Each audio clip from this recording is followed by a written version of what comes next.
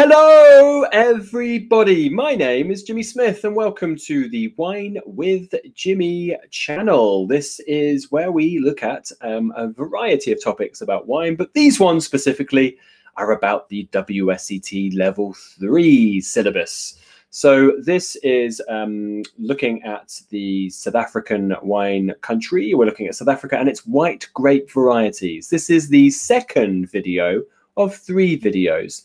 The first one was an introduction to South Africa, including climate, weather, topography, soils, and wine laws. This is all about the white grape varieties and where we find them, and really majorly focusing on Chenin Blanc. Um, so at the end of this, we'll have a working written question. Uh, so that's like a short written answer format where we'll work through it together and I'll give you the answers so you understand what may be asked of you and how to structure your answers. Very, very, very useful if you are to feel prepared for Judgment Day, which is your WSET Level 3 theory examination. If you have any comments, questions, or concerns, please pop them in the comments section uh, below this video on the YouTube comments. Uh, otherwise, get in touch on social media, things like Twitter, Instagram, and Facebook at Wine with Jimmy, at West London Wine, at South London Wine, and Streatham Wine House, all located at the bottom of the slides. Okay, so without further ado, let's get right stuck into our key grape varieties. And of course, the grape variety we're going to focus on first, without a shadow of a doubt, is of course Chenin Blanc. Uh, so Chenin Blanc is the principal grape variety for whites within South Africa. It accounts for about 20% of the production.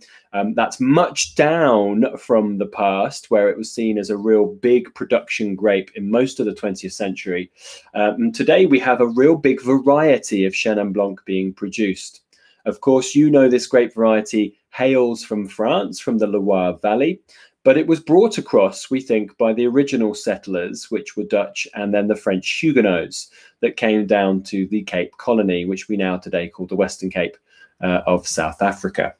Um, Chenin Blanc, as a great variety, as you know, is um, a great variety with relatively thin skins. Therefore, it will be quite susceptible to noble rot. So there are sweet expressions made of this variety. Um, it also has naturally very high acidity levels. One thing to immediately identify is that the acidity levels that will be produced in South Africa will not tend to be as raspingly high as what you'll find in the Loire Valley. Um, they're still quite high, and that's one thing which is a real big plus point with South African Chenin Blanc, um, but uh, it's not as much as the Loire Valley. Um, and then your typical flavor profile. So we have this here. Um, you'll see that there's apples, lemons, pineapple as well. In South Africa, it can get a little bit more than that as well. Sometimes sort of peachy apricot characteristics can be typical. Chenin Blanc normally has some sort of um, honeyed characteristic to it. That's quite classic. Can be quite floral in youth and possibly be put through oak maturation and fermentation. So you may find that the wine will have lees contact. It may have malolactic in some instances, and it may have oak influence both through fermentation and maturation. So Chenin can be anything from none of those things, so therefore very light and fresh, quite complex, rounded, and rich. It's a little bit like Chardonnay in that respect, where you get a big diversity within the grape variety. Um, often students ask me, what is the difference to it than Chardonnay? Well, Chenin Blanc has higher acidities, and it definitely has a marked honeyed note, which I think is just wonderful across Chenin Blanc, which Chardonnay does not have. Okay, so um, let's go through where we find Chenin Blanc, and then we'll talk about the key sort of major styles as well. So WSET want you to know really three areas, Swartland, Paarl, and Worcester for Chenin Blanc. So let's um, make sure we can identify where they are by drawing an arrow. So this is our Western Cape region. Please make sure you have watched session one on the introduction to South Africa as we go into the kind of layout of the land in a bit greater detail. Okay, so let's have a look at those key areas, like I mentioned, Swartland, Paarl, and Worcester. So first of all, this area here is the Swartland. And I just, um, because the, uh, the map's not the clearest, let's write this out. So you can see it. Whoops, my spelling is not great today. So this is the wine of origin Swartland. As you can see, it actually covers quite an expansive area up towards Lambert's Bay, um, around the Atlantic Ocean, down towards Darling and Durbanville, and then inland to places like Malmesbury and Riebeek Castile. Um, so it's quite a large zone. It will experience uh, in influences from the Benguela current, um, so therefore, it will have some coastal influences here, but there's also quite a variety of um, smaller mountain ranges within the Swartland, such as the Paardeberg, for instance. So therefore, you will have these um, climatic influences from mountain ranges as well. But the Swartland really is an amazing landscape because really um, the first vineyards back in the 17th century planted by Jan van Riebeek were here in the southern part of the Swartland. So it's a real historical zone with very old viticultural um, ties to it. Um, there is a plethora of old vine Chenin here, which is dry farm, that is non-irrigated. So these are um, really old vines, a lot of them making complex wines, concentrated premium wines. They could be anywhere from 30, 40 years old up to 100. There are some wonderful, wonderful vineyards here. So old vines, dry farmed, making complex and very structured Chenin Blanc, which has really give the Swartland um, a wonderful identity for making really top end Chenin Blanc. So that is your Swartland area. You may find oak being used. You may find lees contact as well. Um, very good quality Chenin Blanc found there. Then we have Paarl and Worcester. So we have, let me just get my arrow, Paarl. Uh, so Paarl is just this area here. So the wine of origin Paarl. Okay, let's pop that in there.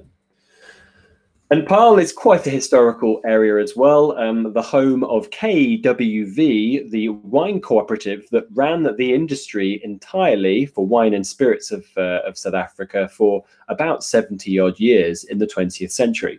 Um, so quite historically important, has um, Wellington towards its northern tip, and then places like Franschhoek, um, which is a, such a gastronomical place. It's wonderful. Paarl um, makes these um, Chenins generally that tend to be much more bigger, robust, um, a bit higher alcohols. It's quite a warm location, Paarl. So you'll often find that you will get quite um, powerful wines. Um, certainly, the first Chenin Blancs made after the end of apartheid in the 1990s were emulating Chardonnays from places like Napa and Australia. So some higher alcohol, quite richy, rich oak styles from the Paarl zone, and leading into a little bit of Stellenbosch as well. But there is diversity, please note, in both of those. We're just giving you a generalization for the level three syllabus. Um, then our last area here is the Worcester zone that they wish you to know about. That's that kind of yellowy area. Let me just get my arrow up again. I'm not doing so well at this, but Okay, that is just uh, just here. Okay, so Worcester. And um, this area makes um, some interesting Chenin Blancs. Um, Worcester, though, is um, quite well known for producing bit of volume.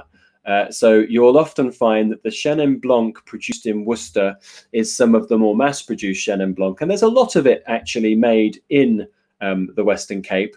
These are often identified as WO Western Cape wines, not specifically from Worcester, but from the Western Cape, and often blended with things like Colombard and Chardonnay to make um, what I call the three C's. And you can um, pick in your own imagination what the C may stand for, but this is a lot of um, mass production and inexpensive Cape blend white wine. Um, a lot of it Chenin Colombard, but Chardonnay may be used as well. So the three C's for uh, for Worcester. There are some great wines made there as well. However. Okay, so um, let's just um, go through a bit of a recap on that because Chenin Blanc is the great variety that they'll wish you to know the most about. Um, so first of all, like I just mentioned, there are inexpensive blends made around Worcester, but really across the whole Western Cape, which are Chenin, Colombard, Chardonnay blends, the three C's. And these will be unoaked, reductively made, and often quite high volumes. Then we have um, the um, emergence of the Paarl and some Stellenbosch wines, which are these quite heavily oaked, rich, robust, high alcohol styles, which are changing a little bit today, but uh, you still find a lot of these quite classically in the last 20 or 30 years emerging from these key areas. Then we find what I think is the most exciting part of um, Chenin Blanc in South Africa. Um, Chenin being identified in more coastal zones such as Swartland, um, but also areas um, like uh, coastal parts of Stellenbosch, for instance, where you have well integrated oak, um, but from very old vine bush vines, which are dry farms, producing these complex, rounded, rich, well balanced wines. Um, and Swartland has made a real reputation for itself because of that. And then it's actually not going to be mentioned as your still wines of the area, but it's worth identifying this now. In the sparkling section, there is something called Methode Cap Classique, which is the traditionally um, produced, traditionally fermented sparkling wines of South Africa. And Chenin will play a major role of those wines as well. Okay, uh, so the next great variety, ah, sorry, um, a picture here of some Swartland Chenin Blanc. Here are the Molyneux. This is Andrea and Chris Molyneux, who make some of the most ex exceptionally wonderful Chenin Blancs from the Swartland. Um, they make their terroir series, which is things like quartz uh, and granite. Uh, and so on. They make some very fine Chenin Blancs within the Swartland. I think, along with people like the Eben Sadie, um, Adi Badenhorst, uh, Craig Hawkins, there are a huge list really of great grape growers and winemakers here, um, which have really caused a revolution in Swartland uh, to produce some of the finest Chenin Blanc in the world. Um, the next great variety is Sauvignon Blanc. They are fiercely proud of Sauvignon Blanc. It accounts for about 8% of their total production. Um, Sauvignon Blanc has gone through a bit of an interesting time in South Africa. Uh, it was only in the early 2000s that two uh, winemakers of KWV were found guilty of fraud because they were adding illegal substances into their Sauvignon Blanc, which was uh, later found out to be the essence of green pepper. And that is a pyrazine compound, really, to um, emulate, I think, the New Zealand success. Uh, which of course is not allowed adding in these illegal substances. So, so Sauvignon Blanc is going through a bit of a change. Um, there are expressions made more towards the New Zealand style, but I think there is, in fact, a wonderful array of Sauvignon Blancs being produced from places like Constantia all the way down to Walker Bay. There are some elegant expressions as well as some quite green expressions. Um, it is not as easy to uh, say it's just one sweep of a style, but I would say that it sits somewhere between probably um, the Loire and New Zealand in, in style. And I think that is a real good place to sit with Sauvignon Blanc. Now, as you know, with Sauvignon, they are very high in acidities. They will experience things like um, uh, uh, things like noble rot with their thin skins as well. But Sauvignon Blanc, with its high acidity and extreme aromatic profile, is for things like gooseberry, asparagus, passion fruit, lime, lemon, and grassy notes. It is a wine that can be very citric, green, and tropical, and then very full of pyrazines, grass, nettle, and things like asparagus and green pepper. They are typical things of Sauvignon Blanc, and you will find them in varying amounts in the styles in South Africa. So, where do we find then our um, Sauvignon Blanc? Now, we've got quite a few places. Um, Stellenbosch through Constantia, through Durbanville, Walker Bay, Elgin, and Elim. So, first of all, uh, Stellenbosch and Constantia. Um, so let's, uh, I'm going to just pop this up here. Here we go. This is the easier way for me to do this, I think.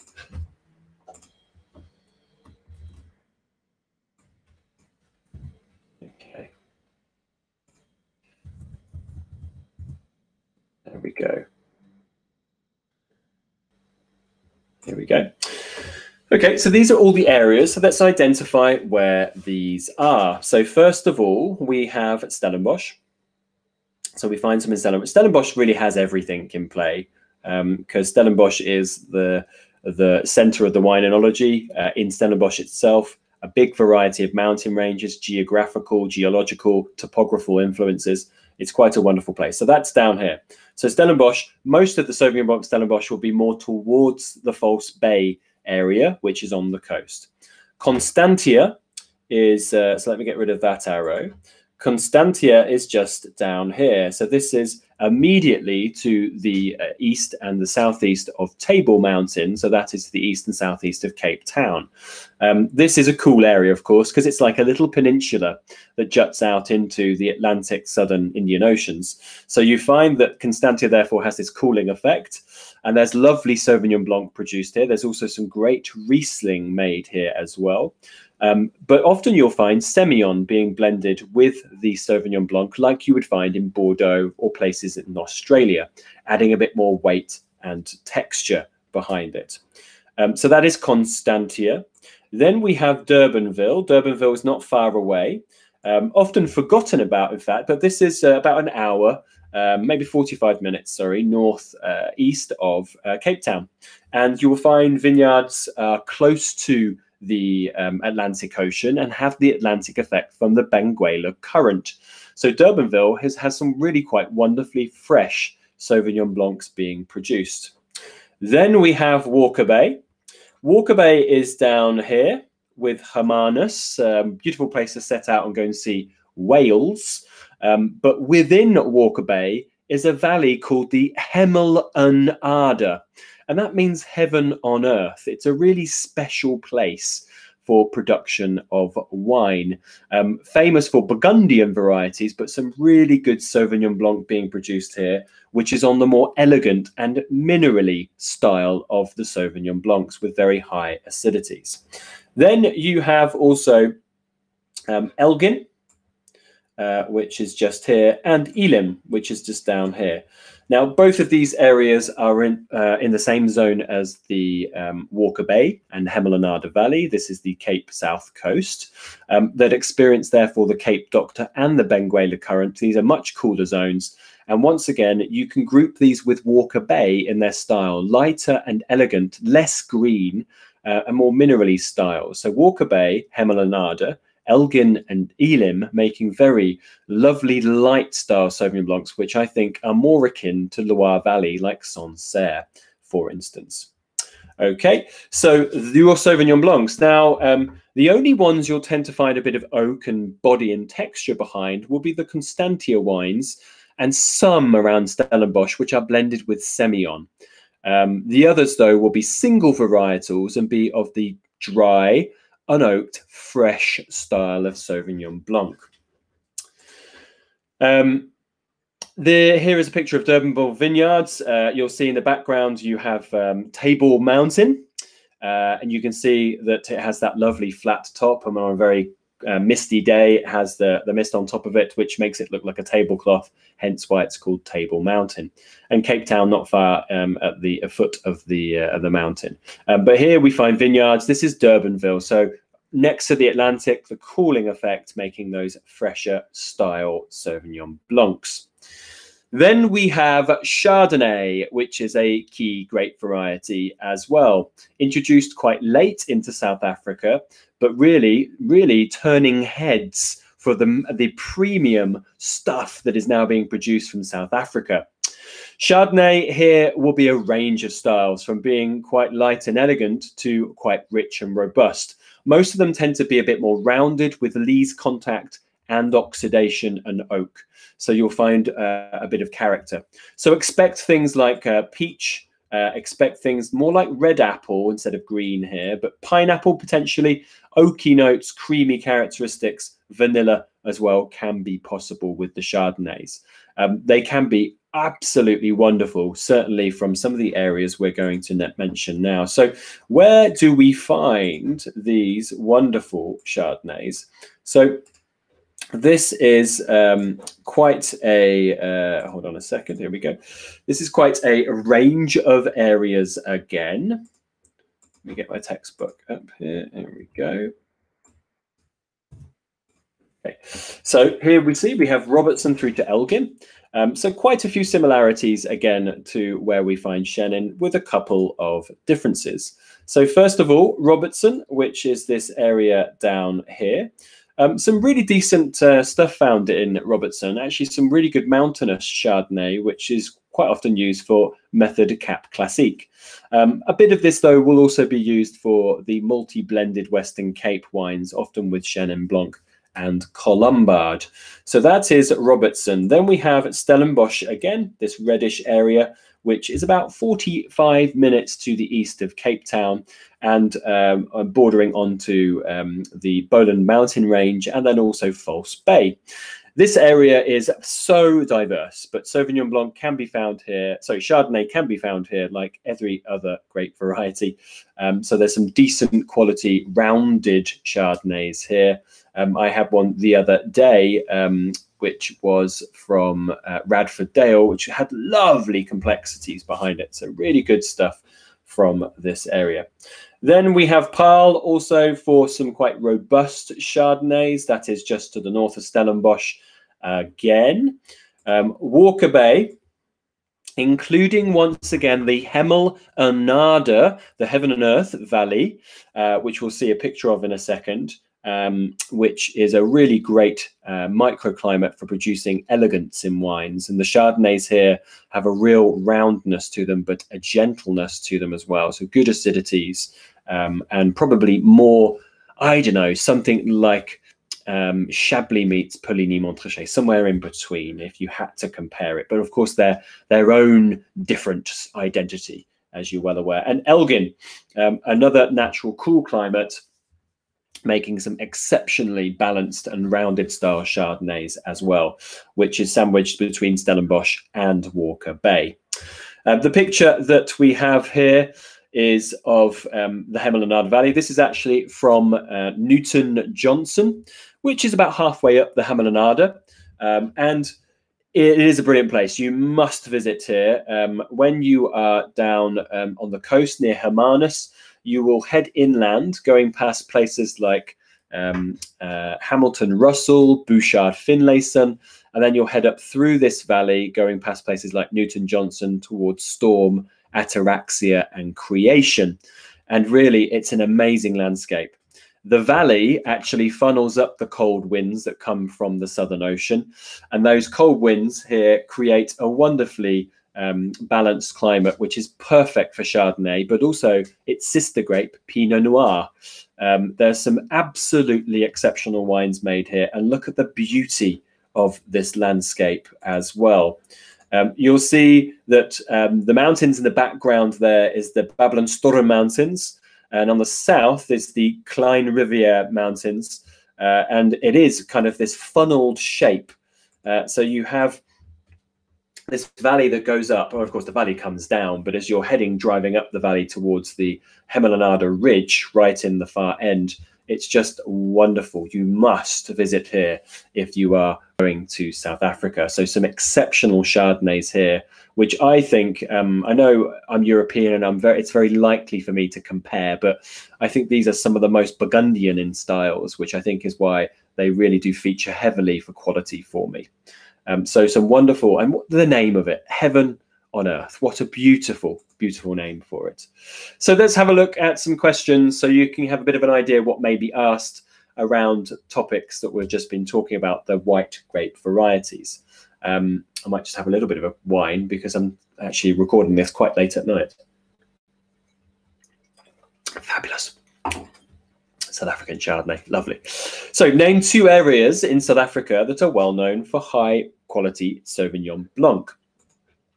You can have any of these from your syllabus. So, Constantia, Durbanville, Elgin, Elim, Walker Bay. We've went through all those before. So, that's just an identification exercise. Um, what climatic conditions make these areas well suited to Sauvignon Blanc production? And really, this is always going to be the type of question with South Africa.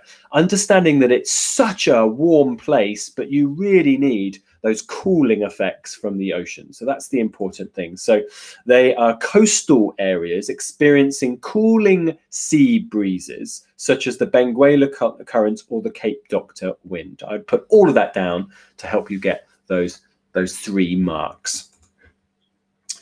Here we have a label of Molyneux Quartz Chenin Blanc, which is splendid stuff from Andrea and Chris, who were in um, a picture that we had earlier on when we had the Chenin Blanc section. Where in South Africa is this from? This is an easy identification exercise. At the top, it says the wine of origin, Swartland. So we're looking at the Swartland. They are towards the kind of southern section of the Swartland. What factors in the vineyard account for this wine being premium? Um, now it actually identifies old vines on the label for you, so it's quite a nice label. So the Swartland is an area, so it should say area. I'm going to help you with that because uh, I've obviously done a spelling mistake there, or I've missed off a letter, but let's put A there. There you go. An area well known for old vine Chenin Blanc, which is often dry farm, that's without irrigation, which lowers yields and enhances the concentration of the whites. So that is because you're not irrigating. These are old vines anyway, producing a more concentrated, smaller volume of fruit. So you're basically producing wonderful fruit for more complex wines. But of course, there's going to be much less of it. So therefore, it's going to make it more premium. Um, the bit of a, a, off-piece topic here is it's the soil here has quite a bit of quartz in it, which is silicon, and that that silica is uh, is actually what does add to the complexity of this wine, but you are not required to know that for the level three syllabus. Okay, so I hope you've enjoyed this section. Um, this is part two of three parts on South Africa. The first one being the introduction to South Africa. This is on the whites of South Africa. The, session, uh, the third video is on the black grape varieties of South Africa. That is only available for the members only of the e-learning portal at winewithjimmy.com. If you want access to that plus many more um, members only videos and advanced access plus heaps of other things to prepare you for your level three examination, please check it out and subscribe um, to keep these videos going. We need more people to subscribe um, so you can get more access to free content as well.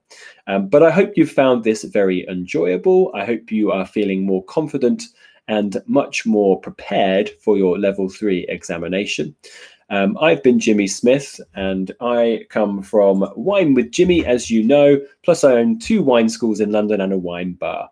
So next time you're in London, please come and see me for a class, a glass, or a bottle. Um, thank you so much. Take care. Bye bye.